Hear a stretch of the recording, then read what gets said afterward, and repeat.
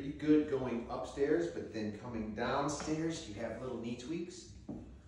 That's because it's not a quad problem. It's not a problem in here. It is very likely posterior chain weakness or adhesion affecting a nerve. You have instability of the knee, and you're getting these tweaks going downstairs because your knee is unstable because the support structures aren't healthy.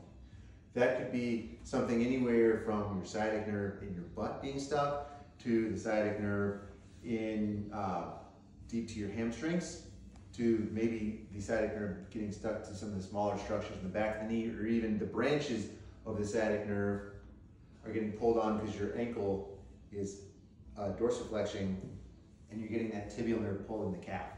Any of those can cause instability if we pull on them enough. A nerve is like a hose, and if we put tension on it or a kink in it, uh, you're gonna get basically a swollen nerve, it's not gonna function as it should, and it's gonna lead to symptoms. We solve this problem, stairs become a breeze.